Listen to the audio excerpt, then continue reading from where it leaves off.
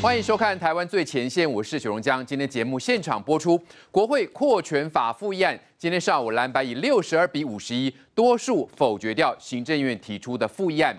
民进党总召柯建明说，会在最短时间内提释宪加紧急处分。那接下来就是宪法诉讼。如果蓝白这么明显以立法权侵害行政、司法以及监察员监察权，还有民众的人权，大法官作为民主国家最后的把关者，能不捍卫民主宪政吗？尤其场外这么多主动参与的青鸟民众，不为天气炎热以及午后的雷阵雨活动到晚上九点哦。那对照国民党动员的蓝鹰行动，不到中午人就上游览车去吃饭了。那这时候朱立伦才刚上台，而且蓝音的喇叭就正对着人在上课的成功高中，没想到这些高中生没再客气，大声抗议，没有讨论，不是民主。蓝鹰对决青鸟，双方的气势，今天我们要来比较一番哦。那虽然今天复议失败，但青鸟民众不气馁，他们强烈谴责国民党。将会付出代价。只要七大民主倒退法案有任何的进展，必定会有所行动。下一步就是全力罢免。那大罢免时代，蓝委谁的仇恨值最高呢？国民党反制端出绿委罢免墙，排名前一二有谁呢？那傅昆奇今天在台上指控民进党风电贪污至少一点五兆，高喊要把民进党押进大牢。但是傅昆奇有证据吗？没证据，是不是公然造谣呢？讽刺的是，前国民党云林议长沈宗龙涉嫌收贿两千万，遭检方依贪污罪起诉，沈宗龙已经认罪喽。所以蓝绿谁在贪污呢？另外，国台办今天发布分裂国家罪，严惩台独，最重死刑。傅昆奇前天才质询，连说三次赖清德不要讲两国论，这么刚好。他们在呼应什么呢？最近情况，我们今天节目中都有深入的分析哈。我们先来看今天晚上的青鸟晚间的最新行动，稍后我们都会有连线报道。我们先来看哦，今天立法院的场内呢，复议案表决哈，场外就是青鸟对决蓝鹰哈。但是说对决，其实双方根本是不同量级哦。我们看到这些参加这个哈青鸟行动是从早到晚哦，然后呢，这些蓝鹰呢，他们不到中午就已经撤光了。所以先请教瑞德哥，这个我们看到双方不同量级，持久力也是完全不能比哦。怎么看双方今天的气势嘞？那么事实上呢，国会就不用讲了。国会完全不需要抱以任何的这个希望啊？为什么呢？因为很简单嘛，因为蓝鸟行动也好，白鸡行动也好，那么事实证明，那么啊，民众党不过是国民党的护水组织嘛。所以今天的投票的结果已经呃，这个告诉我们这一点，六十二比五十一。对，那么这是很这个等于说啊，跟之前的这个相关的这个法律要单独通过的时候，那么那个趋势是一致的哦。嗯。可问题就在这个地方。国人民把票投给你们，不管是不分区的政党票，还是区域立委的相关的选票，是要你用代议式来代替人民去国会，那么行使监督权呐。就没想到说你竟然利用国会啊这个黑箱扩权法案呢，把整个国家带向这个反民主、反自由的另外一方去。我相信人民一定会制裁你们。对，那当然最可笑的是什么？是中国国民党。之前跟民众党他们一直在啊，这个等于说啊，故意说这个清鸟行动呢是民进党去这个呃一手去主导的，然后呢去发动的，然后又说民进党啊什么有钱嘛去发动了哈啊什么有吃的了有什么东西了。事实证明，真正只有这个等于去上个月到现在，只有一个政党真正发起动员，那不是中国国民党吗？对，就你啊，而且而且还自己发起啊。今听说今天还有国民党的民意代表上节目的时候否认他们有这个动。动员呐，那那些游览车是怎么回事？对，你们不是自己，不是傅昆萁，你们的立法院总召傅昆萁要求什么啊？什么七呃呃苗栗以北什么七个县市，每个人啊，民地带多一百个人支这个支流支流嘛。可是我个人非常失望，就是摩利马单个中岛，对，摩利马单个中岛，中岛那个投票了，开票完毕了，要被照卡照，唔是呢？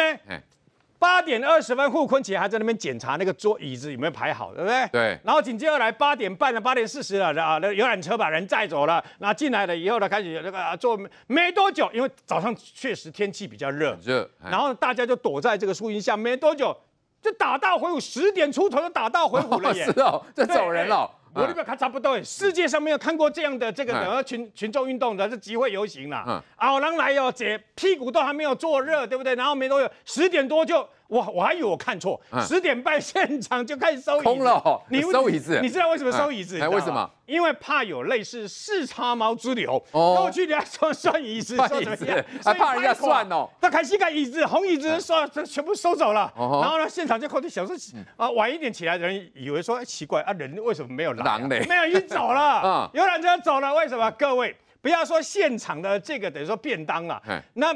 包括他们 schedule 上面表定十二点整要到哪里外县市去吃餐厅啊，嗯那紧接着来下午还要还要去哪哪里大溪十五哪里去旅游啊，你知道吗对？嗯世干五机关代机哦，对吧？所以呢，事实上，因为他们之前为什么并表定十点？因为本来认为十点就会开票完毕，嗯所以他们就认为十点就可以这个。那我跟你讲，跟人家订好的餐厅能不能延到两点四点再来吃？不行嘛。对所以就赶快上游览车，上游览车。餐厅一定要准时以前这种动员的最讨厌就是以前不是一些群众运动吗？然后到晚上对不对？八九点还没有八九点就已经一车一车到后面去 K 车，然后要到要回高雄，然后呢这个哪一车要回台南，啊人都狼的照料料啊哎，就弄到后来。弄到后来，等到中国国民党的主席朱立伦啊，在所谓的先讲都看不见人他，上台，一边出来给挂挂电话不军人招了了，哦。人招了了，嗯。是秋爆了。告诉各位哎，前两天因为刚好遇到高中跟大学的这个等于说呃相关的这个考试啊等等是。情况，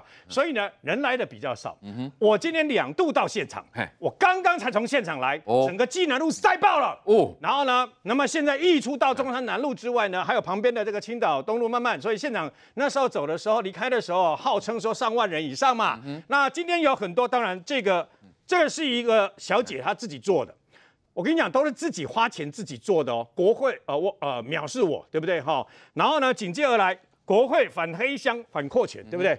这都自己花钱自己做的，各位是。这个不是哪个组织头啊，花呀拿了这个捐款的，然后呢，还有一位小姐呢，自己刺了一个青鸟的毛线啊，哈、哦。送给我的，好，是。这个在现场送给我的，谢谢他们呐、是。啊，我两度在现场啊，所以呢，事实上。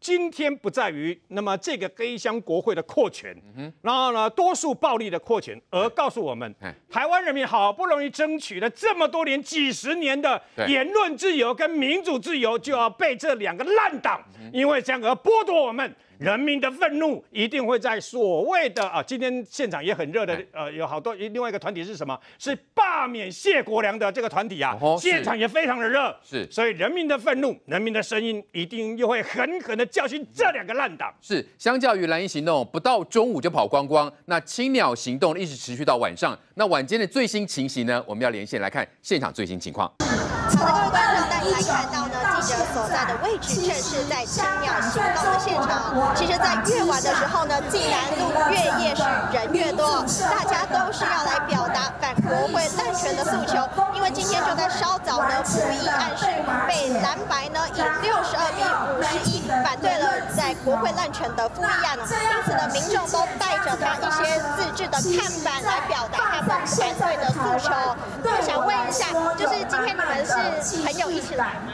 对，朋友的是我们的国会，那为什么会过来国这边？民党的为们了捍卫自己的中民国主跟自由，就开始启动法律的然修后法，就是同时尤其是这一次的国会，它就是滥扩权，然后又很多的黑箱条文，就这样子想要瞒天过海的把它通过。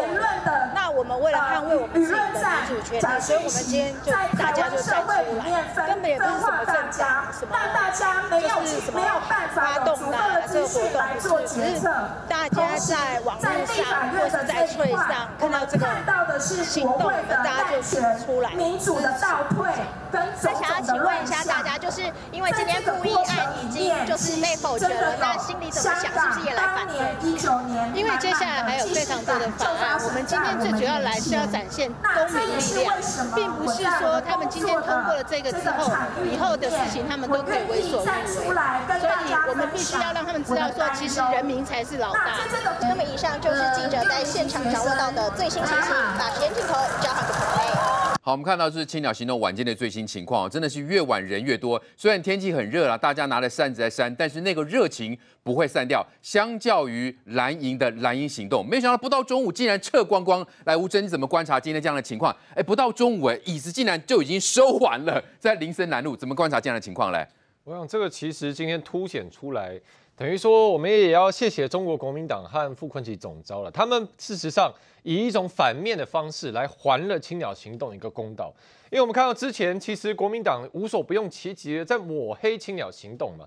一开始说哦，民进党要从中部跟南部动员黑道上来，哦，他想说呵，那这怎么怎么会有黑道呢？难道有黑道现场知识吗？而且。最最大的黑道头不都在立法院里面，在中国国民党旗下吗？怎么会是有黑道要上来呢？但后来大家看到十万公民站出来，所以傅根奇谣言不攻自破嘛。对，后来傅根奇又说啊。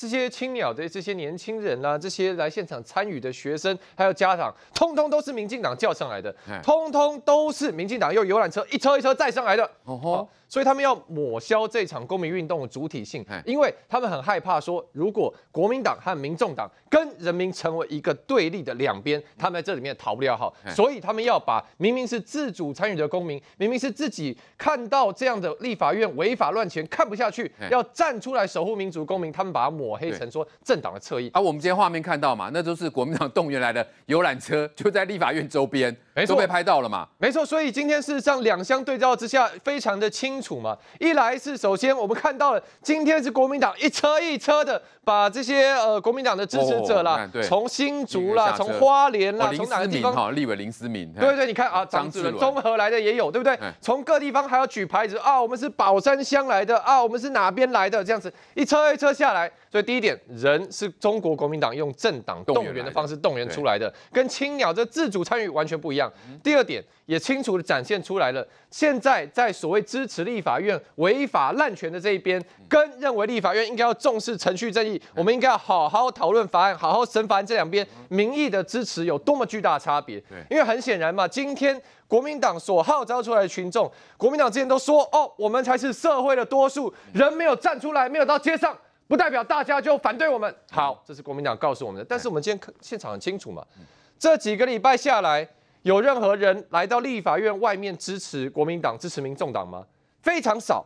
之前小猫两三只，好不容易在今天好，他们叫上来一批人了，大概可能 maybe 有上千人了。我们也给他们一个客观的评论。问题是说，这些人早早散会嘛，对不对？十点、十一点，太阳好大，好了。来现场骂一骂民进党，来现场喊一喊，来现场骂，甚至有人对青鸟行动参与者讲了很难听、侮辱的字眼。是，没关系，他们这样讲讲，吵一吵，吵完成功高中学生了，把成功高中学生都逼到要到另外一栋楼上班，然后呢，好，到中午了。啊，好，大家收队，那一车一车，大家回到游览车上，准备去吃饭。啊，吃饭后继续他们一日游的行程，可能下午还要去慈湖啦，还要去叶林啦，啊，还要去大溪观光，所以看得出来嘛，两边对照之下。中国国民党很明显是用政党力量动员人出来，而青鸟行动完全是公民自主的集会。最好的证据就是到现在晚间我们在节目上讨论的这个时间点，现场竟然路都还满满的都是人。对，所以这展现出来说，台湾民间对于违法滥权和对于程序正义两边支持力道有多么巨大的差别。对，那为我今天要讲啊，第再来第三点是说，为什么国民党要一直去否认？这个青鸟行动正当性，为什么他们要一直用很多方式诋毁呢？事实上，这表示说国民党他们害怕面对民意，他们自己站不住脚了。没错，事实上这也是国民党为什么要在立法院没收这些所谓程序正义、没收委员会讨论背后真正本质关键的原因。对，因为我一直在强调一个重点，就是说。大家会觉得说啊，国民党在立法院没收讨论啊，不给委员会好好的委员会中心主义了，不让党团协商有实质功能。大家以为说他们是要碾压民进党，他们大家会想觉得说，哦，国民党现在拿到多数了，要出一口气，要教训民进党。我跟大家讲，其实只一小部分，真正的原因是因为他们现在所做的国会扩权法案，未来会伤害到人民。很国民党很害怕重蹈覆辙，因为在二零一四年的时候，当时的马英九主政之下的国民党以及国民党为多数的立法院。就是用同样的方式嘛，想要瞒天过海嘛，想要这个三十秒黑箱服贸哦，把这个服贸就强行通过了嘛。那当时人民发现了，人民说不行，我们不能让这些国民党为所欲为，把整个台湾的未来绑架走，所以爆发了太阳花学运。所以他们这一次事实上是有备而来，他们希望要。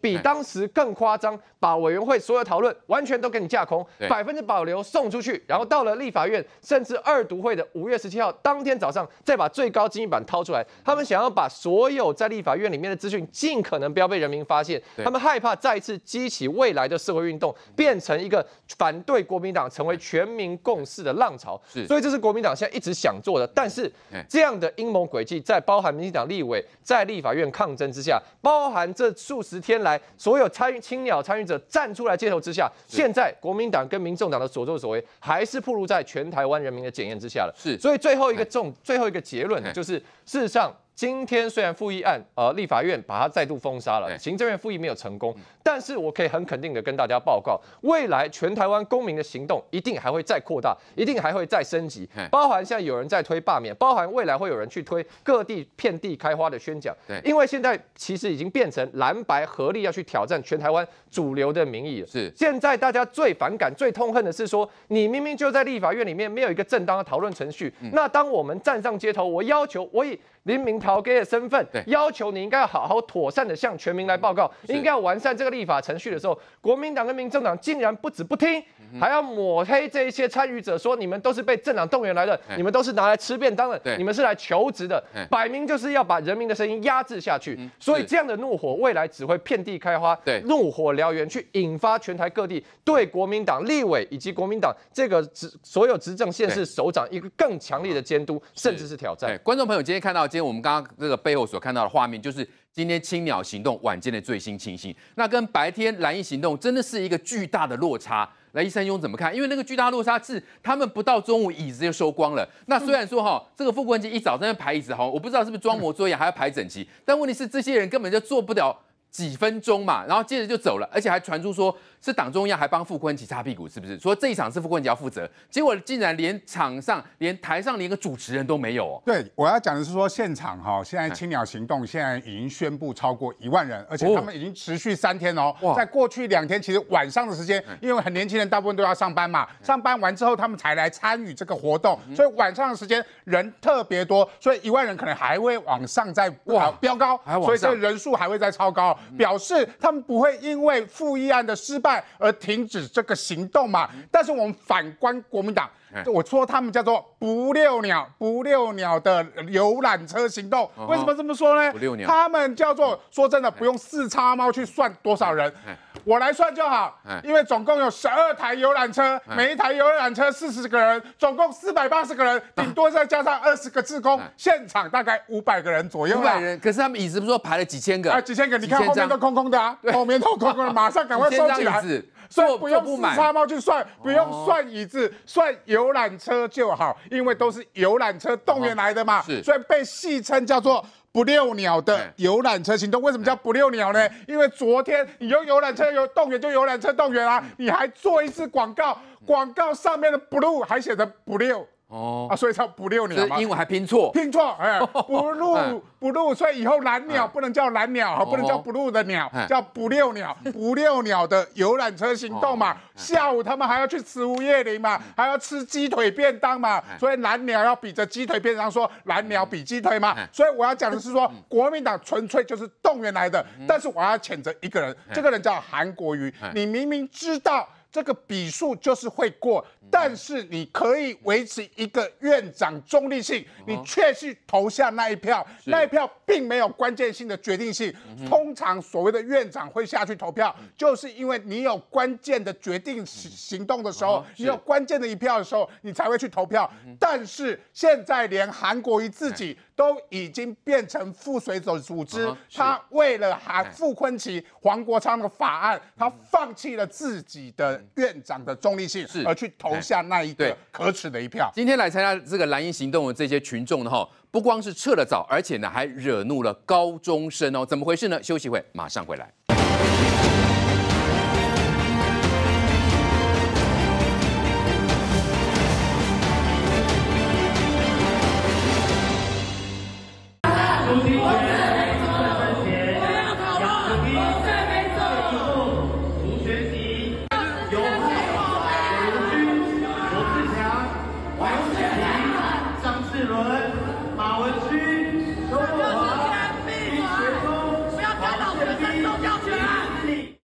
看到就是成功高中学生抗议哦，叶善勇你怎么看？哎，为什么这些高中生都知道啊？这么厉害？对你明明知道你只有五百个人，只有四百八十个人，结果你喇叭开那么大声，哎，不要忘记了，立法院周边有很多的学校，除了成功高中之外，开南中学也在那边，所以很多学生正在上课的时候，你喇叭声音开这么多声，害所有的学生还要移教室来上课，所以学生才抗议嘛。我们有受教权，而且这些学生非常有理性的去。跟所谓的外面的这国民党的这些立委抗议说没有讨论，没有民主，等于在声援青鸟嘛，所以表示我们的教育上面的公民教育非常的成功。我们知道学生知道要保护自己的受教权，而且要对所谓的立法委员、国会扩权的乱象来抗议嘛。对，但是台北市教育局，我就要谴责台北市的教育。阿苗在这边。赶快要咨询台北市的教育局，为什么是不是要主办单位把音响降低声量，而是要学生去移教室？更明显的是偏袒在国民党你主办这一场的一个立场上面嘛？我们说真的，青鸟行动。当时在忠孝东路上面，因为旁边也有台大医院的儿童医院嘛，那时候主办单位都说，我们现场在台大医院儿童医院附近都必须晋升，而且十点之后喇叭都关掉。这个就是我们所谓作为一个公民运动，它最基本的一个道理嘛。但是国民党。却影响到学生的受教权，完全不顾学生现在在上课而如此大声的逍遥。的确，难道连台北市政府也在配合蓝营行动吗？休息会，马上回来。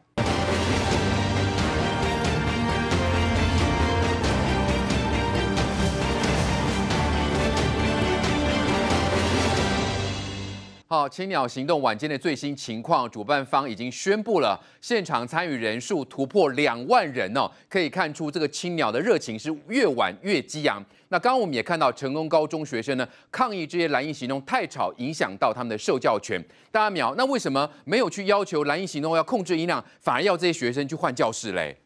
没有嘛？现在台北市是国民党蒋万安主政嘛？啊，那蒋万安主政之下，你也知道他大概没有什么能力哈，去处理这样子的这个政治情绪比较高昂的群众运动嘛。其实老实讲哈，你的这个核准入权的抗议集会本来就不应该紧贴着学校嘛，在上课日的时候不应该是这样。那如果说你紧贴着学校，你当然要叫主办单位注意音量啊，这是很简单的道理。可是。这么简单的道理啊，遇到国民党就会转弯哦啊！那这个蒋万安只能叫可怜的学生说，不然你们换教室。因为蒋万安没有这个 guts，嗯，去要求国民党说，你们办活动的时候音量放低一点，因为学校在旁边。连这样都不敢讲哦，不敢要求。我觉得这刚好凸显了一个问题啊，就是说。法律它是一个工具啊，嗯，这个工具呢用到政党身上或政治人物手上的时候，它有可能会随着政治倾向而变形嘛。嗯，那这一次的国会，有人叫它国会扩权法案了，可是我想一想，我觉得大家叫它国会集权法案，可能更符合现实啊。嗯，因为现在这个国会立法委员啊，要把监察委员的权利拿来到自己手中了。立委要兼任监委，要来调查了。嗯，啊，现在这个立委呢，傅昆萁这几天一直在讲，他要查弊案，他说要把民进党的贪腐全部关起来。哎，傅昆萁已经把自己当检察官，把自己当法官啦，把检察官跟法院的权抓到自己手上啊，所有权力要往国会集中的时候，人民最担心什么？人民最担心的是啊，政治不中立的立委会不会把这一整套法律呢，变成一种政治恶斗？政治报复的工具，对，这其实最大的问题啊。黄国昌一直在讲说，哎，他上人家范奇斐节目，一直讲，哦，你去法院也是一样啊。你如果法院叫你作证，你不来，法院也会给你罚钱啊。如果法院叫你作证，你不讲的话，法院也会给你罚钱啊。你去法院都一样。可是立法院就不是法院，嗯哼，法官他必须要依宪法跟法律超越党派独立审判。对。检察官绝对不能介入党派之间的政争，检察官绝对要维持政治中立在办案。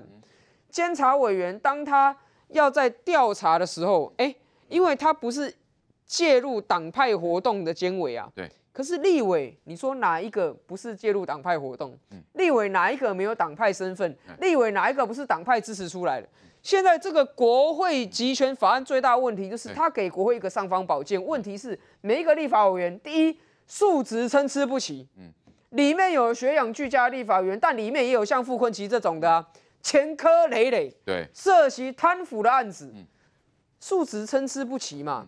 第二个，立法委员就是政治最不中立，每个都是为自己的党说话。那你把这个尚方宝剑给他的时候，他的调查权，你说他说要查案子。会不会蓝营多数的时候是查绿不查蓝？对，绿营多数变成查蓝不查绿，到时候我们国家就被这种用政治放大镜、用政治的偏光镜所弄出来调查权，每天弄得乌烟瘴气。到时候恶斗不休啊！对啊，你看哦，光是蒋万安处理一个路权的噪音，造成成功高中的学生上课被噪音干扰，连这件事情都可以政治不中立了。对。你更不用他不敢去要求啊！你这个调查权的尚方宝剑啊，跑到政治最不中立的、素质最参差不齐的立委手中，嗯，有可能被滥用成什么样子？这是场外的公民最担心的。这也是整个立法过程当中最欠缺讨论。的。黄国昌，啊，蓝营行动他们本身也都没有任何的那种觉得，哎，不应不应该要影响到别人，他也没喇叭正对学校，没有，因为蓝营行动哈，它的本质是它就是一个政党动员出来的半日游。他是男，那你华华一一出去去投，你会关心旁边是不是成功中学？我才不管关心旁边有没有来上课嘛？指令就是拿着区域的牌子，有没有从游览车上下来？对，走到椅子那边排一排坐，每一个坐好坐在那里。然后台上有蓝营的这个蓝鸟的议员哈，有这些蓝营的立委在那边讲话。阿里勒姐你耳卡听，阿英讲啥你嘛唔知？现场有出现纳粹的旗子，你嘛唔知？你都唔知理念是什么？到底核心价值是什么？时间到啊，起起来，伊啊羞羞嘞。去夹刀，对，来去啊，然后呢，这个去慈湖看蒋公，嗯，哎，他们这个活动本来就不是自发性的公民要去了解。动员来的，所以你要求他们说，哎呀，不但呢要注意音量，还要注意环境整洁，不要乱丢垃圾，那是要求过度了，因为坦白讲呢。国民党他从来没有一个所谓的公民运动的经验嘛？国民党这是一个选举造势啊，是对不对？傅昆萁啊下去巡视啊，椅子有没有排好？啊，每个人有扣打，有责任额。对，哎，这个政党动员出来的画面，我们今天看到了。对，所以我觉得在此借一个机会，也谢谢傅昆萁召集了这个活动。嗯。因为傅昆奇之前才刚抹黑说青鸟行动都是民进党号召的，对。傅昆奇之前才刚抹黑说青鸟行动都是民进党提供的包吃包玩一日游，嗯。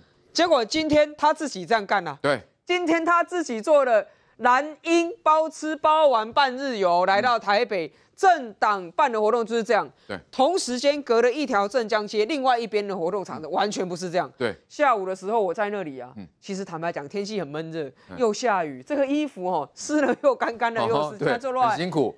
但是哦，我看到现场的民众哦越来越多，每一个人撑伞穿雨衣。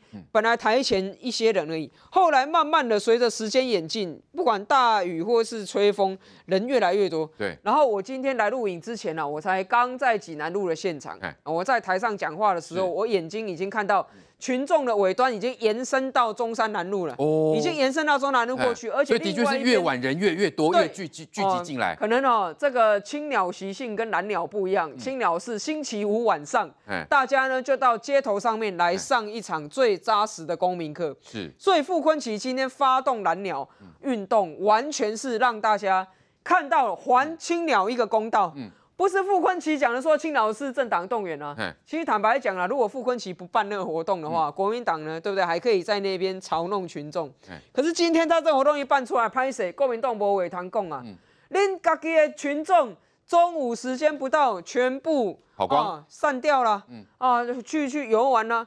可是青鸟行动到现在，我们录影的此时此刻当下，都还持续在不断在发生，而且。人会越聚聚集越多，是，这就是我们十年前在立法院三一八太阳花看到了完全自发性的多元化的公民组织该有的样子。对，我们看到，因为这个傅昆萁今天说哈，这些青鸟都是动员来的，结果被发现原来自己的蓝营才是全部动员而来，而且来的时候呢，真的是。讲白点就是没有公德心哦，喇叭对准了这个学生，然后呢留下一堆垃圾，那甚至呢时间到呢就赶快撤光光要去吃饭。来，杰明哥，对，好像说他们的蓝鹰便当也被人家发现了是吧？没错，菜色也不错是吧？所以时间到一定要赶快去吃饭吗？所以这今天的上午时间是这样，蓝鸟来了，蓝鸟又走了，留下一堆便当没人吃啊，因为这速度实在闪太快了。他们走的时候便当才刚来，所以有些人是有便当能能够拿到这个游览车，但据了解呢，便当。实在是订太多了，因为原本是号称是要来一万五千人嘛，结果来的人数只有几百人嘛，这是现实问题。画面都看出来了，对，只有几百人而已，不是一万五千人，所以其。据了解，连救国团都发动动员了，也不过就这个人数了啊。其实我觉得是蛮 蛮辛苦的啊。但是呢，我们说这个青鸟来了，青鸟走了，啊，不应该说蓝鸟来了，蓝鸟走了，留下了这个。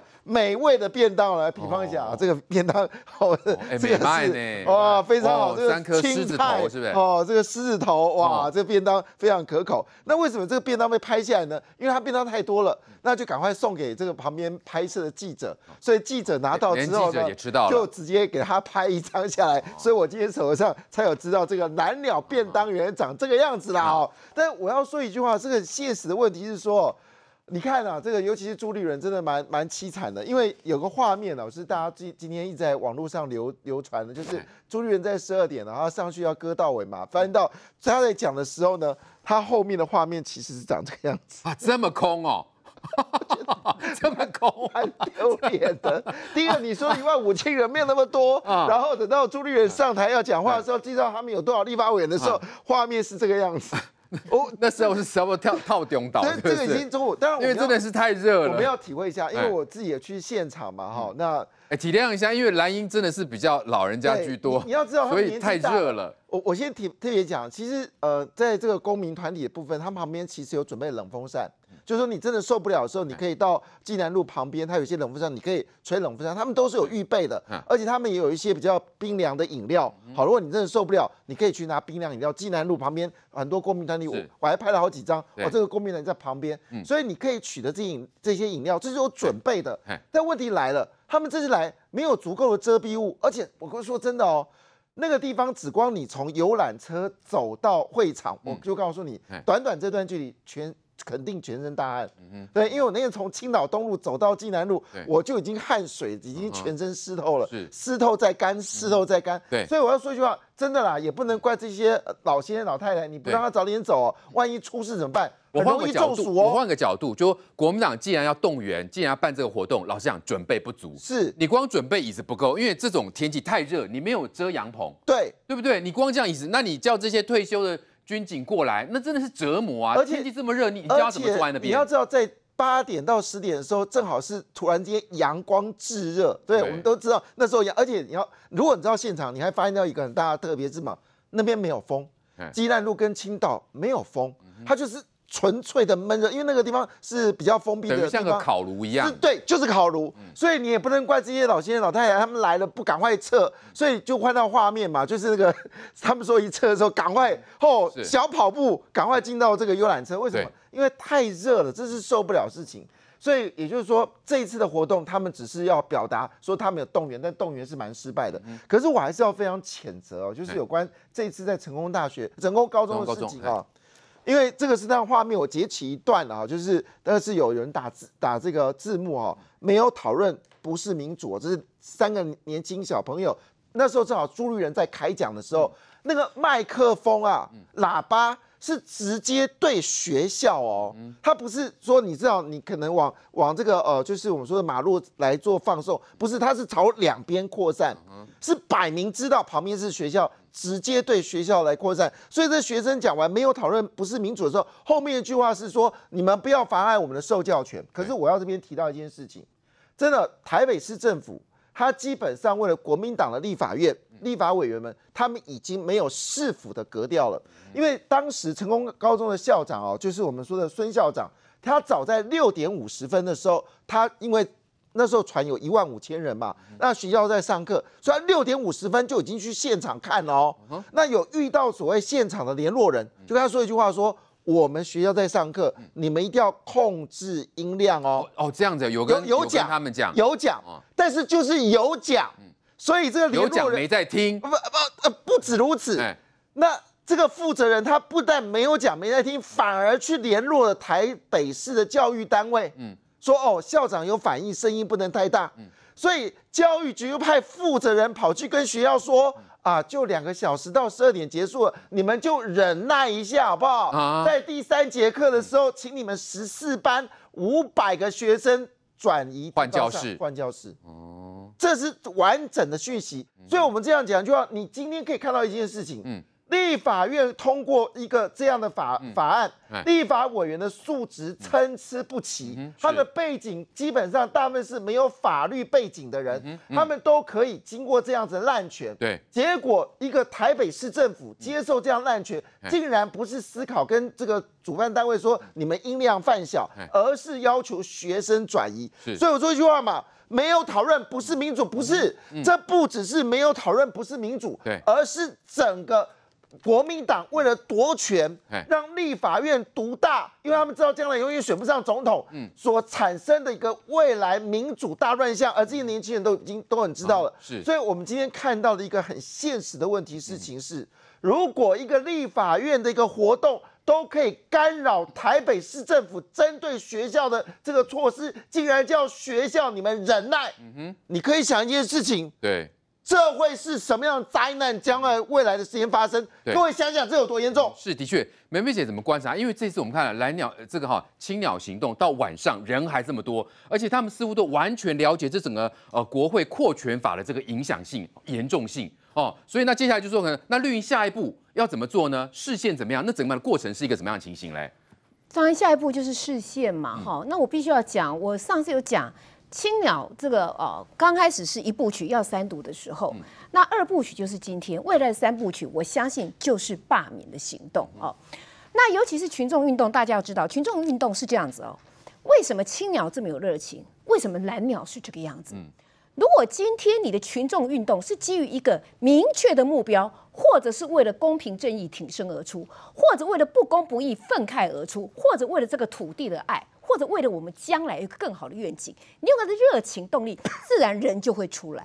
所以青鸟，你可以不管是刮风下雨、日晒雨淋，白天到夜晚，越夜越美丽。嗯，然后人不分男女老少，地不分东南西北，大家都来。可是蓝鸟，你必须又要用什么鸡腿便当，还有不遛鸟，还有半日游。好，那大家就我们就再来回味一次，再来看一次。这是一大早游览车就来了。哈。傅昆萁，你抹黑民进党，结果是谁在动？傅昆萁说青鸟是动员来的，对对，好，蓝鹰才是都动员来的。好，再来，你来看这这个青鸟行动，好，再来，这简直是言语侮辱了啦！言语侮辱嘛，骂的，怒骂嘛。对，那你是什么样的政党？你们动员的支持者是这个样子。再来，你看走的是留下满地的垃圾，垃圾乱丢，而且是他们动员来的民意代表。的传单，哈。空空的椅子，嗯，再来看这一张，让我感慨万千。各位，在大雨磅礴的时候，有这么多人还坚守在现场，这让我想到五一九那一天，嗯，也是下着好大的雨，那里面有妈妈带着孩子，她的脚积满了水，娃娃车里的娃娃包着毛巾围得好好的，嗯，也有老人家下着大雨，很心酸呐。为什么要让我们的公民这么辛苦？为什么风吹雨淋日晒，要为了你们的国会扩权，甚至像阿苗所说的国会集权这样子出来？这让我想到，尤其是今天晚上的公民教室，十年前太阳花的那一幕，各位不也是在公民教室连续上那么多天吗？那太阳花运动的结果还记得吗？二零一六年国民党大败，是不是？二零一四年也大败，不是吗？好，所以这个种子。这个火苗会是一样的。对，那尤其是这一次，那我觉得说，包括成功高中的孩子，两年以后，他们就是手头足了。对，对不对？好，他们比你们大人还清楚。好，比你们这些国民党、民众党的立委都知道，没有讨论不是民主。我觉得非常好，公民意识深植人心。我再次要分享各位，再说一次卢梭的话。这位伟大的政治思想家，他告诉英国人什么？他说啊，他说。政府的王法的危害，不及立法者的滥权。请问一下，今天是不是完完全全实现了？对。然后说英国人，你只有在选举那一天是自由的，选完之后你就变成奴隶了。请问一下，今天包括在立法院里头，从这种黑箱的。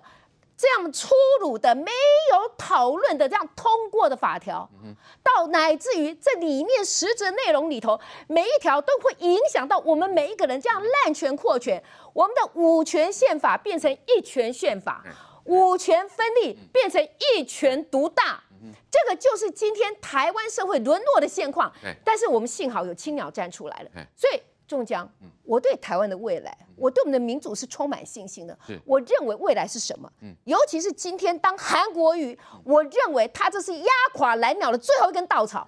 当一个应该中立的立法院的院长，我们看到这个立法院长是何其出帅，他根本有什么所谓的政党协商吗？他完全失职，只是走过场。甚至于表决的时候，他居然粗暴到民进党有两千八百多次登记发言，到最后只获许。七十三次，一个人三分钟，这一幕一幕活生生的。然后今天韩国瑜你还投下了这一票，我认为这个怒火会像十年前的太阳花一样，那么罢免的火苗会烽火遍地。嗯，我在这边要郑重呼吁，最快的一场就是在哪边？就是在基隆。如果谢国良，我希望基隆人民你们站出来。一方面是谢国良确实是一个非常不称职的市长，他利用他的职权图利，有没有图利？他的现友友们，多少个公共设施变成二十年加十年、三十年，那干四年怎么办？那谢国良如果是被罢免掉。不只是让基隆市民，你们重新可以选一个更好的市长，就好像高雄的例子，韩国瑜走了，来了一个非常好的陈其迈。而如果谢国良被罢免掉，我请问你，其他国民党立委，对，哎，出来代对，的确，我们刚刚比较了哈，这个青鸟跟蓝鹰双方气势的差距可以说是天差地别。那在场内呢，立法院今天早上就是进行这个复议案的表决，当然蓝白以六十二哈比五十一票优势人数哈否决掉行政院的复议案。来，瑞哥，因为这个不意外嘛，哈。但是蓝营是不是紧张兮兮啊？为什么连韩国瑜、连江启臣通通去投票嘞？呃，事实上呢，那么韩国瑜跟江启臣，照理来讲，那么他们两个人身为那么立法院的正副院长，再加上他们本来就有多数优势，对，本来不需要这样做，没差他两票吧？两个却这样做，啊，那就告诉大家很简单，因为。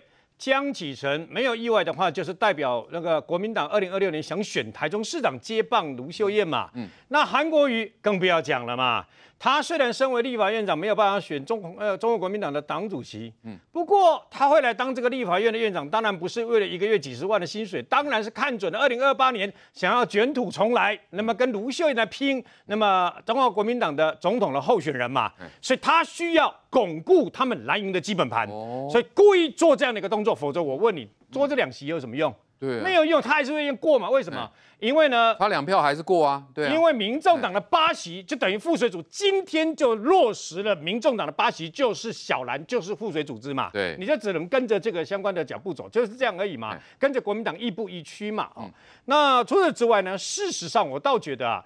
韩国瑜跟江启臣其实根本不需要这样做，你这样做了以后，反而让自己所谓的行政中立，呃，因为这样而荡然无存嘛。对，你牺牲掉的是所谓的中间选民，所以根本就没有没有必要这样做。这个结他牺牲的是立法院正副院长的高度哎。今天这个结果本来就在我们的意料之中，只是行政院本来就可以依照宪法规定呢，给你提复议案嘛。难道复议案这是这是这个最后一个？不会的，现在开始，从现在开始。所有这个蓝白所通过的这些扩权的法案，哎，后面还一堆嘞，你知道吗？中天复辟案、救国团党产的又重新又死灰复燃，然后一大堆龟头拉苦的对吧？哈，复议、复议、复议，经过法律程序复议以后，紧接下来就是送往大法官会议去解释，因为视线嘛，这一条漫长的路就是。这些所谓的一月十三号天真的台湾人民啊，有部分天真的台湾人民，误以为在立法院可以啊这个制衡，结果你本来或者是有些人以为说要教训民进党，结果你教训到自己嘛，得到了这样的一个可能的恶果嘛。对，所以呢，那么现在大家必须一起去承受，这是第一个而已。对，这是所谓的黑箱国会扩权法案是第一个，而他们选择了这样做。那今天晚上刚刚已经宣布两万多人了嘛？对。现在台湾是全世界第一个，就是用这个手机来这个在演唱会的嘛，对不对？哦。那紧接而来啊，这个这样的这个场面呢，后来很多政治场合都看到。今天晚上在这个呃现场也是也是这样子嘛。那我们很多人都来自于现场，你越晚来，你会发现，因为现在呢，那么很多大学考试考完了，下课下班了，所以呢，大家一全部挤到那个地方去。前几天不是在笑说没人吗？对。这不是人吗？哦，一堆哦，这不是人吗？满满的人。柯文哲跟这个国民党，他们不相信这些人不是民进党、民是民进党绕呃绕来的。嗯，请你们到现场去。对，他们不会打你的，你放心，他们不会有暴力的。霍坤奇也可以去啦。上个厕所不需要七个人陪陪，给你阿鲁巴啦，我跟你讲坦白的啦。勇敢到现场去听他们的声音嘛，去听他听听他们的声音嘛。对，看看这些年轻人，这些年轻人，你就是就是这年轻人是民进党五在了去动员的哦。你给起这样年轻人对吧？哈，他们为什么站在听他们的声音？我我青鸟很很我刚刚要来这个民事录影前呐，离开现场，我发现已经就是年轻人越来来的越来越多，而且那个年纪越来越小，啊，人越来越轻。然后我也看到很多啊，这举个牌子写高中生不是都是支持民民众党跟柯文哲的啊，故意的举很多这样的牌子嘛。对。这样的一个民主自觉，让我看起，让我想到十年前的太阳花之啊，对，也让我想起了更多的野百合、野百合、野草莓，更多的希望都是从年轻人开始。年轻人重视台湾，才是我们台湾有未来的指标。对，我们看到今天晚上这个青鸟行动，这么多年轻人，这些在这个之前的选举，恐怕都是民众党的支持者，都是小草们哦。那我们刚刚看到，连高中生都来抗议，这些更是小小草啊。易山兄怎么观察？因为民众党比较。动作慢半拍吧，明天说才要在荣兴花园办开讲啦，那我不晓得到时候这开讲是有哪些人会来，是还会有小草吗？事实上，民众党在上个礼拜五所谓的他们在选前说要把国家还给你，结果选后的所谓的八票不举，放水，国民党的党产条例可以过关一读嘛？对，已经对傅昆奇。表达忠诚了，所以这八票在今天投下赞成所谓的啊不赞成复议案是完全可以预期的。其实从上礼拜五就有这个迹象了，他们已经完全不顾民众党在选前很多的小草跟很多的支持者认为他们应该在关键的时候扮演关键的力量，这样的声音在党内已经没有了，全部都被傅昆呃黄国昌带着变成傅昆奇的附随组织的嘛，这是他的悲哀的地方。而且他们认为说哎。现在国民党也在办基层的演讲，民众民呃青鸟也到处在办这个基层的演讲的时候，他们也应该去办。就你办也办在之前啊，你办在之后，之后对，要不干嘛呢？明天已经都已经投完票，你办什么荣兴花园的开讲？而且最过分的一件事情是，所有其他包含国民党都不敢讲说，民进党不应该提出视线，只有民众党的吴春成今天说赖清德不应该提出视线，他们害怕什么？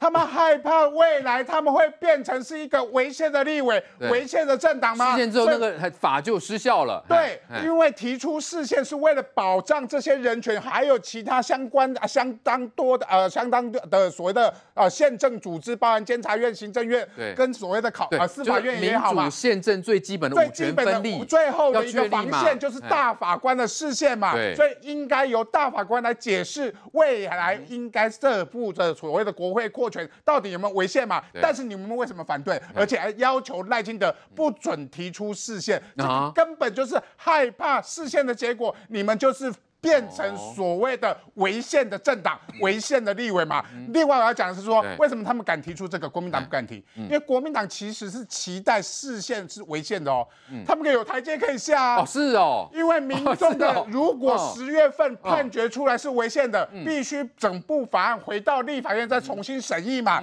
这样子，国民党的区域立委反而有台阶可以下，不用被面临明年的罢免嘛，减缓罢免的那个压力。因为民众党这八席。不用面对罢免的压力，嗯，所以他们认为说不应该提视线，嗯，而国民党的立委反而期待视线的结果是违宪的，因为重新回到所谓的国会重新审议，他们就不用被。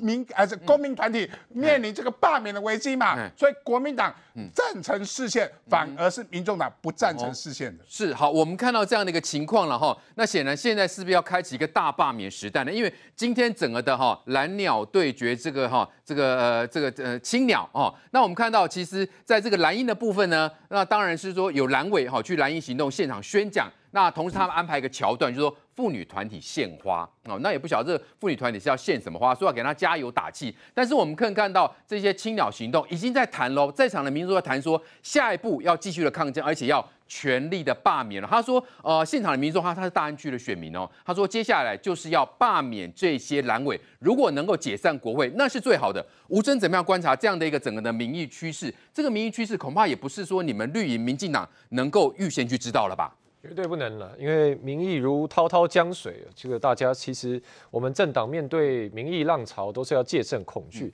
那讲到今天这个场外的罢免，我们可以看到，在之前的青鸟集会当中呢，其实场外的公民团体就有去列了这样的一个很多国民党立委的这样的牌子嘛，让然后他发给大家这个小贴纸啊，你觉得哪一个立委的问政表现你非常不满意的，你就把它贴到这边。哦，所以我们可以看，国民党所有我们在这段时间谈论的一些仇恨值比较高的立委，例如说徐小新、呃王宏威，有没有？这都是呃罗志强，啊，这都是满满的这些圆圆的小贴纸贴满了，满脸麻花。没错，代表人民对他们不满是非常集中。那可能国民党在之前觉得说，哇，被新闻这样做很没有面子，哦，竟然好像我们委员很招人讨厌，被罢免。所以他们今天就有样学样，也立了个板板。哦，他们也弄一个什么反制，是吧？对，他们也弄一个说罢免民进党立委。哎，啊，所以看到哎，这边也有很多人被被贴了这个贴纸哈，贴的满满的。但是眼尖的观众朋友这时候可能就会发现了，哎，这个罢免这样好几个颜色不同小贴纸，好像我们以前做视力测验那个是很多像素有没有？要在里面一团颜色中看出那个呃数字是几号？你会发现哎，明显。怎么看起来这边的解析度比较高，这边的解析度比较低？嗯，因为你仔细一看就会发现说，其实这两个板子它的大小是差不多的，但很明显国民党今天准备贴纸大很多嘛，大超级多，有没有？你看这边徐巧修、王辉要被贴到脸看不出来人是谁，哇，这个密密麻麻可能有上百张、几百张的贴纸，但这边哦，好，这可能是赖瑞龙委员，他脸也看不出来，他脸上有几张贴纸呢？一二三四五六七七张贴纸，七张贴纸就把一个人脸盖住。是公司贴的啦，不，所以把你贴满了，刚好不知道要罢免谁。不，不，表示国民党自己很清楚知道，他们预期今天会来的这个人数不太多嘛，所以想说啊，那贴纸要是这边贴的很小一块不好看，我把贴纸准备很大块，要大张一点。对，这就是政党动员的好处。了。我事先去动多少人，我全部可以算得清清楚楚。我早就知道今天现场动的没有很多人，所以没关系，我到就准备大大张一点。啊。所以国民党算是有备而来了。但是问题是哦，从这样一个比较中可以看出来哦，事实上国民党他根本不知道他自己在做什么，根本不知道自己在反抗什么，对对不对？青人家看青鸟在表达对你立为不满，你想说啊不行不行，我要有样学样，对不对？就是公民运动你做什么，国民党就赶快紧急学一个做，复制贴上。实上他根本没有中心思想，没有错，就是复制贴上。那为什么会这样子？是因为国民党。完全，他从来没有经历过这种由下而上的公民运动嘛？他的逻辑就是背后这一切都是政党的恶斗，在国民党的这个眼睛或想象或视视野里面，只有政党恶斗这件事情。所以他今天很直觉一个吸反射，就是有人要罢我，那我要罢民党立委。可事实上，公民团体在罢免根本不是因为政党恶斗啊，这些青鸟行动包含现在还在。济南路上青岛东路人，他们也不是单纯因为挺民进党来的，大家是希望守护我们的民主宪政制度，希望还给立法院一个程序正义、公开透明的环境嘛。所以，当我们在讲的是民主宪政的运作道理的时候，国民党眼中只想到我要对民进党还以颜色，所以这整个格局是高下立判。所以这事实上也很很清楚显示出来，为什么我们刚刚前面讲，国民党今天中午人就散光了。嗯，其实这是一个。就是说，青鸟到现在人越来越多，是一件大家去想，这是一件非常不容易的事情。因为这几天天气，坦白说，真的很严峻。中午的时候，大太阳这么热，就算现场有搭棚、有水冷机，可是三十八度，你这个热热真的是酷暑难耐。然后到了下午，马上那个暴雨倾盆，又看到那个画面，都会觉得很不忍心。就是很多人穿着透明雨衣，然后坐在那边，雨这样子啪，真的往整个身上淋，那个水也是直接穿透雨衣，但是大家也不走。国民党永远无法理解为什么这么多人心里这么坚定的，就是要坐在那边，因为我们今天就是要出来捍卫台湾的民主宪政体制嘛，这是今天整个公民运动的根源嘛。为什么这么多人站上街头？是因为国民党在颠覆我们国家的民主制度。民主制度的核心精神就是人民最大，人民才是老板嘛。对，你立委跟政党是要服务于人民的公仆。但是国民党现在在立法院通过的扩权或套阿苗刚讲话集权法案是怎么样的？对。我们这段时间都盘整嘛，以后国民党立委用国会调查权的名义，可以把任何人传来立法院质询你、审问你、问话，你不来我就罚你十万，罚你钱。那各位想，这不是很荒谬吗？因为国民党的所谓的国会调查权发动范围无边无际嘛，任何公民都可能被成为被调查对象。对，那你想啊，我们讲说一个立委是人民选出来啊，我是选民，因为我可以决定你下一次会不会当选，所以我很大，你应该政治人物要倾听民意。但是未来，那请问一个立委？他能不能够在立法院传唤自己选区的选民，也可以啊。我也可以把你叫来问啊，你不来我也可以罚你十万呢。哎，那这不是整个民主秩序颠过来了吗？应该是我用选票监督你，你服务于人民嘛。那现在变成未来立委可以把人民、把给予你权利的人叫来立法院当犯人一样审问，那不变成立委才是老大了吗？是。所以事实上，国民党跟民众党现在做的是一个民主制度中的下课上。他们想要用本来是公仆的身份，现在要变成说哇，我才是老板，我才是这一个统治者，你们所有人都要乖乖听我话，所以会激起人民这么大不满嘛？这个事情从民调最近看得出来非常明显嘛，对不对？从四月啊，整个事情还没有彻彻底爆发开来，到五月的时候，到现在，你看国民党立委的不满意度已经上升超过百分之十个百分点嘛？对。哦，包含民众党立委的不满意度也是节节上升嘛，嗯，所以人民的怒吼一再的在街头上浮现，但是蓝白的立委竟然全部听不进去，嗯，那这一点事实上坦白说真的是自掘坟墓了，所以我相信这样的一个浪潮还会越来越大，因为国民党现在在立法院里面还有很多法案蠢蠢欲动，对。过去这几年，我们好不容易推动了非常多国家改革。我们说过去不当党产要收回来，救国团名下十六亿台币的现金，六十一笔土地，过去都是国家的，我们现在把它拿回来。国民党说：哇，我们现在因为有多数，所以我要修法，把不当产条例修掉，这些财产、这些国家的土地，通通给救国团拿走。这件事情会不会激起更多人民的愤怒？当然会嘛。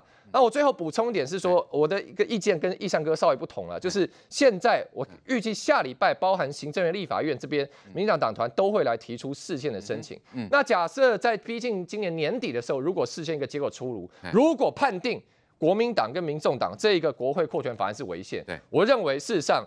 对于后续整个民间反扑浪潮，绝对是会引来更剧烈，罢免的力道会更强。这样正百分之百正当性，我是不是早就跟你讲过了？对，济南路上是不是早就这么多专家学者整天在那边上课，跟你讲说你这个是违宪，你这个是硬干，你不要硬弄，复议让这个法案回到立法院重新审查。我们一直在呼吁你悬崖勒马，你就死不听嘛。对，那请问最后立法院，对，如果大法对吧？对不起，如果最后司法院大法官出来说你就是违宪，立法院我限期你把这个法律改善修掉。那请问？造成这一切社会动荡不安的源头是谁？国民党的民众党，傅昆萁跟黄国昌，他们要为这一段时间造成社会上的不安，造成人民对于我们呃民主宪政制度被毁坏，必须要忍着酷暑、忍着暴雨上街头，这些这些事情呢？蓝白要负上最大的政治，可以想见，现在蓝白立委应该压力非常的大，因为现在的民意所趋，即使他们用复制贴上，都是去模仿人家哦，包括蓝英，包括这所谓的罢免墙哈，说这个什么最该罢免的这个民进党立委，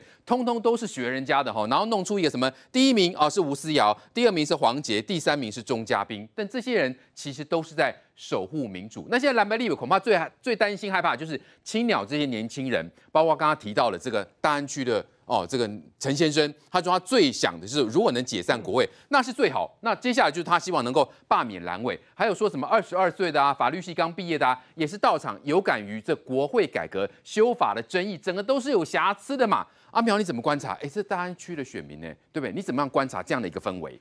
这个罗志强其实在五月份的时候，他脸书发文就有讲过嘛。好，他讲的其实很委婉啦，他的说法是说呢，这个。赖清德哈，如果说再这样巴拉巴拉，前面先骂民进党嘛，好，后面还讲说，哦，这个说要倒阁之后要解散国会，那这解散国会当然是民进党的如意算盘啦，因为民进党。最差就是继续没有过半而已嘛。哦，哦，他就 这样讲。哦，OK，好。那当然，他很有自信哈。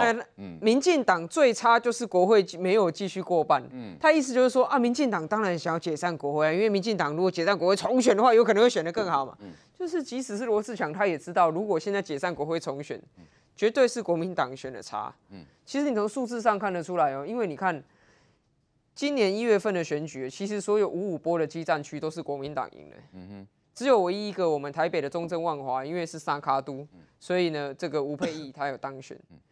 那你说以现在来看的话，当时整个大环境、大的风向、大的格局，五五波的选区都被国民党拿去，如今才有两蓝白的六十二席。对。但是如果现在那些五五波的选区，你再去请国民党花钱去做一次民调，他们就看得很清楚。因为现在的氛围跟之前完全不一样了。因为过去在今年一月的时候，国民党欺骗人民说要通过福国利民的法案呐。国民党欺骗人民说，他说民进党做的不好，国民党要监督他，国民党要让这个国家变好啊。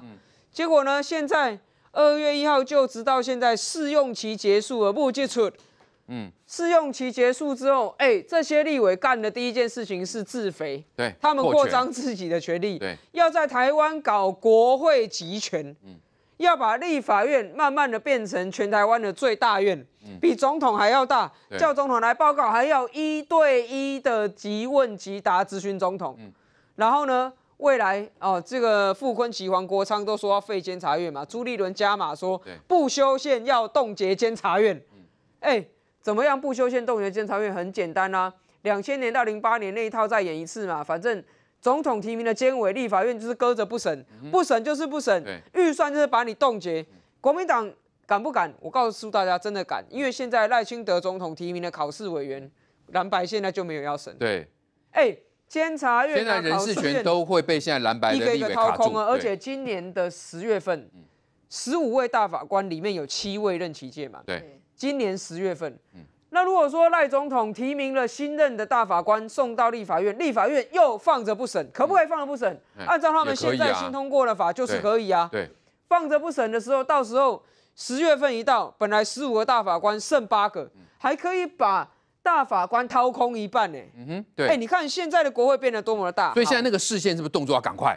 啊，一定要快，一定要对不对？一定要快，你不能拖拖到到时候七席都届满了，那怎么办？其实你五二还是说不受影响嘞？你五二八的时候三读通过拿到完整版本了，其实就可以请学者跟律师开始写了。嗯，写到现在，当然我觉得一定是有一个雏形。嗯，那重点是什么？重点是呢，虽然七个大法官任期届满，剩八个还是勉强过半数，还是可以开会，还是可以开庭。但是蓝白就会打蛇随棍上，他就会说啊，你公信力不足啊，本来应该十五个。现在八个就做决定，你们代表性不够啊，扯一大堆。哎，明明放毒的也是他，对，哎，不审的也是他。现在攻击大法官没攻击，你总不能连大法官都不信吧？那在台湾就没有民主宪政啦。我跟大家预告，但是他们他一定会这样子扯，已经开始扯了，已经开始，已经开始扯了嘛？你看罗志祥四月份的时候，罗志祥脸书上，现在他还有留着啊。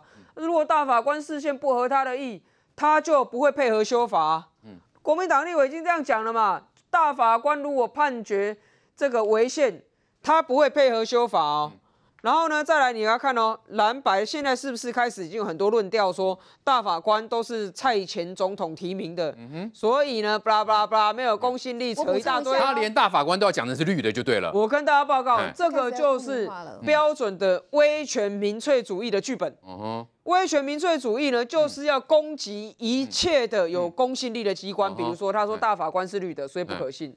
比如说现在他们都说媒体是假新闻，嗯，对不对？对。他说啊，都都假新闻啦，都煽动的。然后呢，他们会说出来抗议的公民团体都是民进党的附随组织，都是民进党的侧翼。他们会说出来抗议的青年都是被骗。哦。这一切的一切早就已经全部应验了。他围拢引供哎。哎，他们绝对会继续这样讲。那包括说，你看王宏伟，他说民团说要罢免他，就是红卫兵。红卫兵，我就请教一下王宏伟，难道你要提案修法把罢免废掉吗？嗯，罢免不是你们孙文写在宪法里面说，对，选民有选举罢免创世父权之权，人民四大权利啊，人民实现去宪法保障的罢免权。你说他红卫兵，嗯，王宏威是什么态度？对，对不对？哎，他是立法权独大，哎。那反而是立法委员无法无天哎，你要罢免王宏维，不然我就要去罢免吴思啊！拜托啊，各位啊，你看这就是蓝营现在面对民意检验的这样子一个态度。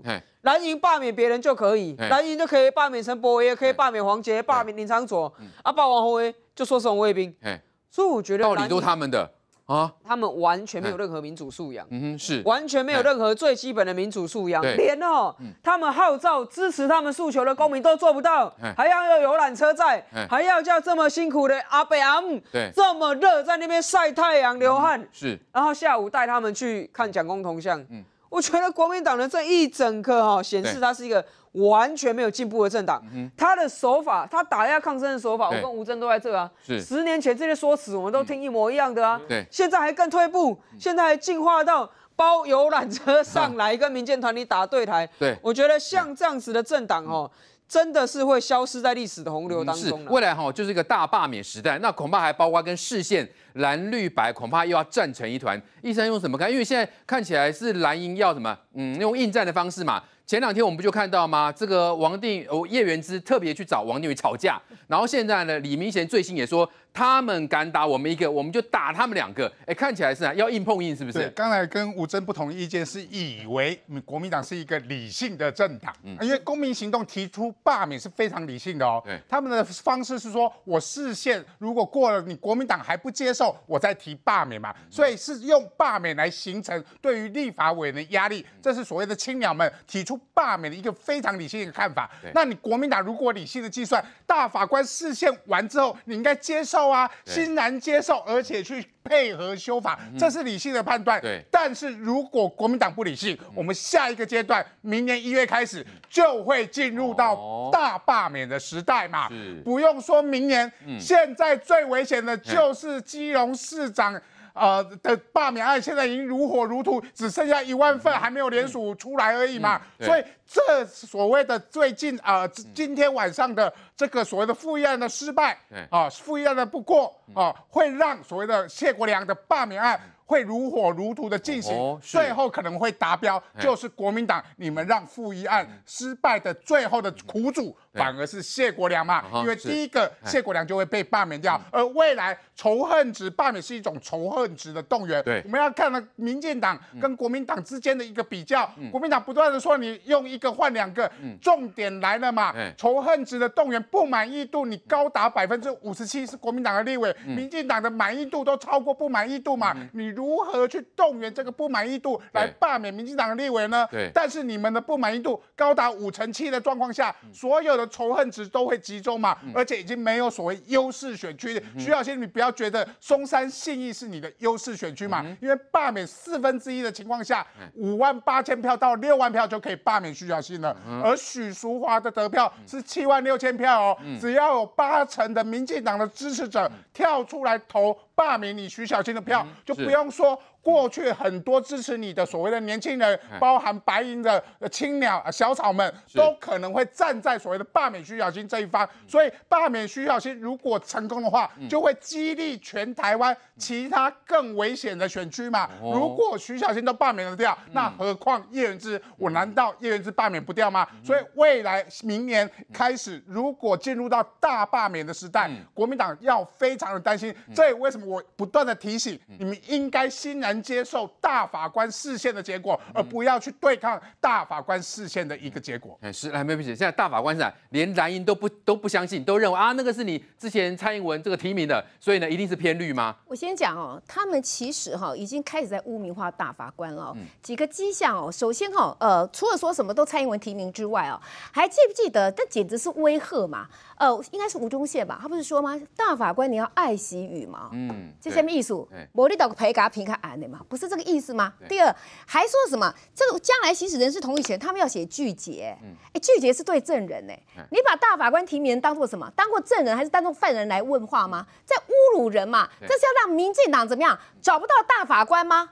我如果说今天是一个望重士林的，我来我要被你羞辱，我要被你被被你这样凌辱，我还要拒绝，对不对？这就好像傅昆萁他弄个什么那个呃藐视国会罪，结果定义不明，那你他他你记不记得讲过什么话？我就是要让你民进党找不到政务官，记不记得？他们现在干的就是这件事情，所以对大法官会这个样子，然后甚至于某个报纸还曾经在头版的第二条写什么，你知道吗？他说。这个基层检察官抱怨啊，案源大增，原来乱源是大法官，嗯，居然这样子讲话都可以讲得出来，所以他就要再铺陈一切，让人民政务大法官。到时候如果宣判他们违宪的话，哎，他们就说，哎，我们不遵，我们不遵守，我们抗争有理。好，这第二个防火墙，第三道他们什么？注意啊！这下来，民团要首付的几个七大的民主倒退法案，其中一个是什么？他们要提高罢免门槛，那可能也是他们优先的哦。可是我必须要讲哦，这个结果会是什么样？你皮球你拍的越大，你的反作用力就会越强嘛。所以进入了大罢免时代会是什么？除了会遍地烽火，就像刚刚易善所说的，因为。国民党的仇恨值实在非常高，好，所以在这里面，徐小新为什么要这个样子到处引战？对，哎，你不要以为他很稳哎，就是越怕的人呐。他才越要动作越多啦，他自己也知道啦，他在这里面已经被贴满了贴纸。当初搞不好一些小草支持他的，有一些中心选民支持他的，甚至有些深蓝的会不会看过他的一些作为？因为他违背一些，比如说儒家文化的一些人伦之常哦，所以这些他们都会很紧张。那最后我提供大家一个思考，大家本来都拿民众党没皮条嘛，哎呀，你们都不分区，哎，有一个很好的思考，大家想一下。我们可以罢免什么，你知道吗？他们的市议员。嗯，我为什么这样讲？你现在就可以做啊！我请问你啊，如果他们整天蓝白河流、覆水组织，那请问一下，他们那个什么江河树不是这边一直叫吗？所以我们在地方上，我们压力很大。好，如果你发动民众党的罢免民众党的市议员，是很可能成功，而且现在可以做的。我请问你哦，他们地方会不会反弹到他们民众党中央？对，他们内部会不会立路线的分裂？他们敢这样公然的跟蓝营同流合污？颠覆台湾的民主，危害每个人民的权益吗？所以我觉得大罢免的时代的来临，不是只是对于蓝营的立委，包括民众党的市议员，你们现在就可以试刀了，因为要这样子来正责，不要以为不分区就不负责任。一个政党如果敢颠覆台湾的民主体制，敢这样把人民当作是奴隶，欺负人民，把。人民当做好像是他是人民是他的心头，一人民的掏给 on 脑 key 作为，我们就用大罢免的时代，用直接的民意，用民意的海啸来淹没这些反民主的逆流。对，来杰明哥，因为现在说哈，现在是青鸟行动这些民众说哈，你这样国会的扩权的结果，虽然说富裕是没有成功，但是下一步他们要继续的抗议，而且呢是要展开罢免哦，那样的罢免的情况。他们甚至说，之后的那个七大的那种所谓的民主倒退法案，如果有再往前进的话，他们一定要让国民党付出代价。这个愤怒的种子其实已经种下去了。我其实，在王宏威这么大声的说法，说说呃，所以这叫红卫兵的时候，我其实蛮建议他是是能够派助理，或者他自己能够去现场看一下。其实说真的，如果你到现场，你会感到这些年轻的小孩子、年轻人，他们真的是年轻大姐，看起来就大学生，或者是刚刚呃入社会的年轻人，而且很多是以女性为主。他们真的就是默默的拿着纸条或者他们制作的东西，在现场去走，非常安静。那我们有看到很多的年轻的妈妈带着小朋友在那边走，他们也非常安静，他们非常安静的去表达对于这个国家的担忧。非常安静的去表达对这些立法院扩权的一个忧虑，他并不是大家想象的，像那讲把他讲红卫兵，好像就是当时天安门之前之后，呃，这个毛泽东要用红卫兵去打击这个呃这个他所的政敌，没有，其实态度是完全不同的。我相信大部分的民众都认为王宏威这句话你说假的哈，而且当他说这些人叫红卫兵的时候，其实是提油救火。这些年轻人觉得我不是红卫兵啊，我是态度非常温和，而且我没有所谓激烈的言语，而且我对你只是默默表达说我想罢免你，不是那种集体式那种，就是有那种，比如说拿着毛毛雨露好去那边去呐喊，没有。当你们在说这些年轻人是这个红卫兵的时候，我相信会有更多的年轻人，嗯，他会纪念今天王威说我们这些为国家担忧的年轻人叫做红卫。兵，如果这些年轻人他们理解什么叫红卫兵的话，其实对王威的愤怒只会增加。对，而而王威为什么他会说这句话呢？因为我住在中山区，我很清楚。虽然没有做北松山，你是你的大势力范围，那边的选票可能超过三分之二都是你的。但因为有北松山的关系，所以你在中山北，你在中山北双才能选上。所以不要忘记了，在中山区立法呃高议员的席次里面，大家是五五坡。而且事实上，中山区稍微偏绿一点点，嗯，所以也就是说，真的要开始发动对王宏的罢免的时候，不需要你北松山的态度，只要中山区就可以了。而所以也就是说，这些事情不是不可能的哦。那至于你要找谁来这个这个试刀，我觉得这些东西只是要掩盖你的愤怒，因为他也担心，也都知道嘛。现在呃，就是吴思瑶所说的这个民党这位优秀的立法委员，好，其实已经现在是。大家很多年轻学子认为说，他站在立法院里面为大家争取所谓的立法权的公平的时候，他是具有关键性的，跟李黄威完全是不同。李黄威根本就是一个破破坏立法所谓民主制度人，人家是一个捍卫民主制度人。对，所以也就这个角度来看，愤怒的种子移下去。我们从那一个角度可以看出来，最近的民调就显示嘛，对，对于国民党极。极不满意的比重超过三成，这个极不满意的数字是大于对于国民党满意跟稍微满意的数字。我再说一遍哦，对于国民党极不满意哦，因为极不满还有说不满意嘛，只光极不满意的数字已经碾压对于国民党的满意数字，所以我可以理解为什么呃，就是我们说的这个李明贤好在。国民党这些阿公，我们看平常温和的这些蓝营的名单，哎，现在变硬强硬喽。大声说这句话，他们在向童文哲取暖嘛？那为什么这些人他们在说这些内容的时候，其实他们现在已经退回，包括对于像吴宗宪他讲这个大法官，我这样讲，吴宗宪你讲这句话的时候，不要忘记大法官里面人当时在大学是你的老师，哎，嗯，你那里不就是共产党的做法吗？清算你的老师，嗯，你怎么敢叫你的老师要重视羽毛？连这种话你都敢讲出来，叫欺师灭祖，嗯，所以。他为什么说这句话？他们在跟他们同温层取暖嘛。现在他们是，那你知道这个，尤其这个罢免墙，坦白讲，他们离开这罢免墙就没有了，嗯，对不对？这他们一离开青鸟，呃，蓝鸟来了，蓝鸟走了，哦，这个罢免这罢免墙也没了。可是你现在去看这个我们说的呃青岛跟这个我们说的这些马路上面，对不起哦，罢免的嗯看板还在那个地方哦，而且。而且我昨天观察，因为他们撤的很快嘛。对，我昨天在济南教会旁边嘛，他们几乎每个人经过那个罢免的部分哦，都会拍照留念。是。所以我再说一遍，嗯，他们继续激怒嘛，你就用力激怒嘛。对，当你激怒到一个极致的时候，这些年轻人他会就像这次基隆的这一次的罢免，是由三个非常年轻的上班族来做发动的嘛？是。这一群人，你们从来没有想过一件事，这一群人会站在罢免潮的前面，他们过去完全对政治呃是不敏感，甚至他们说他们是叫小草。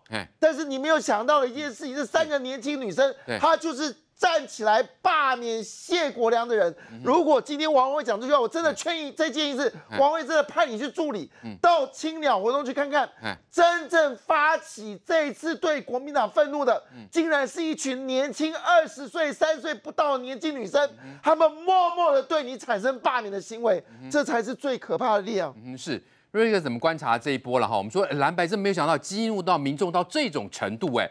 怎么会是发展成这样？因为我们说过去通常罢免可能都是政党的角色可能居多，这一次竟然是有这么多呃民众自主性的想要去罢免这些蓝白立委。今天早上，那么在这个呃青岛东路的现场呢，台北市议员李明贤说啊，如果那么呃国民党被罢免一个，就要罢免民进党两个立委嘛，对不对？可是你不要忘记，在此之前，徐小新说，如果罢免一个，我们就要罢免五个民进党的立委嘛。对，你们有发现吗？徐小新认为自己是在蓝大于绿的比较安全区嘛，他觉得自己很稳。我刚刚拍天了，就做好把狼戏呀。那你明显他自己本身跟我没关系啊，他是台北市议员啊。所以呢，你们在立委要去罢免，我告诉你，他们讲出这个话的时候。第一个心内心在淌血的不叫板桥的叶元之吗？对。第二个不是桃园的都他赶快找王定宇吵架，涂全集嘛，对不对？这些人都差一点点而已。你要知道，当时是因为哎，不是你们靠自己多厉害啊，那后模拟啊的对吧？那是因为柯文哲骗到三百六十九万张票嘛？对。现在柯文哲还有三百六十九万张票吗？嗯那在那个时候，柯文哲三百六十九万张的总统票，三百多万张的这个政党票，立委当时的氛围是要教训民进党立委的对立面，所以国民党我们在安尼屌嘛。是。啊，我问你啊，今晚氛围是先换对。去看看年轻人嘛，去看看那个等于说呃，在立法院外面嘛。对。去看看这些本来我们认为比较不可能那个投给啊国民党或民进党的这些人嘛。对。本来认为可能比较投给。民众党的这些人嘛，对，真的罢免起来。对，来瑞哥，我们先稍后，因为现在这个青鸟活动现场已经超过了三万人哦，先休息会，马上回来。